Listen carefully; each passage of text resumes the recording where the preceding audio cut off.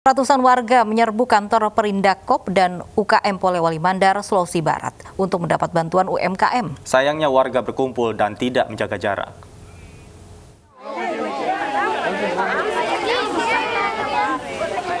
Warga berkumpul di halaman kantor Perindakop dan UKM Polewali Mandar, Sulawesi Barat menghiraukan protokol kesehatan.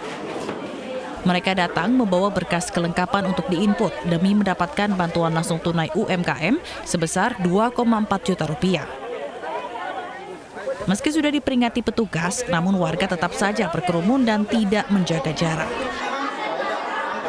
Sebenarnya itu membatasi tetapi lagi-lagi namanya masyarakat kita juga tetap layani sehingga pada hari ini kita masih melihat seperti ini. Malah setiap hari malah bertambah jarak mereka kurang mengindahkan tetapi ah. memakai masker itu wajib nah, memakai masker karena wajib kami ya? tidak akan uh, melayani ketika mereka tidak memakai masker Polewali Mandar telah memasukkan data sebanyak 19.000 pelaku UMKM di berbagai sektor dari 27.000 kuota yang disiapkan oleh pemerintah. Dari Polewali Mandar, Sulawesi Barat, Huzer Zainal, iNews melaporkan.